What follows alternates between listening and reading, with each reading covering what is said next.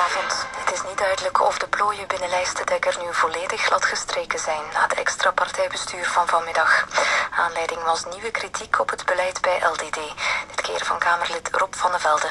Volgens voorzitter Jean-Marie de Dekker is alles uitgepraat. Iedereen is zenuwachtig. We zitten twee maanden voor de verkiezingen. We zitten in een favoriete rol. Men rijdt op ons wiel. En Rob van der Velde is een jong parlementslid. Ik noem dat de jong veulen. En de jong veulen springt nog wel een keer over de draad. verwijt niemand iets behalve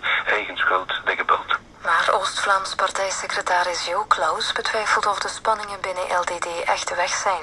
Hij staat op het punt uit de partij te worden gezet. Jean-Marie kan zich nu niet opnieuw ruzie permitteren. Vandaar dat hij daar net een oproep gelanceerd heeft van jongens, wil je ruzie maken? Ja, wel, maak maar ruzie. Maar maak interne ruzie, want ik kan mij geen nieuwe missers meer permitteren in de media, want mijn imago wordt dermate afgebrokkeld.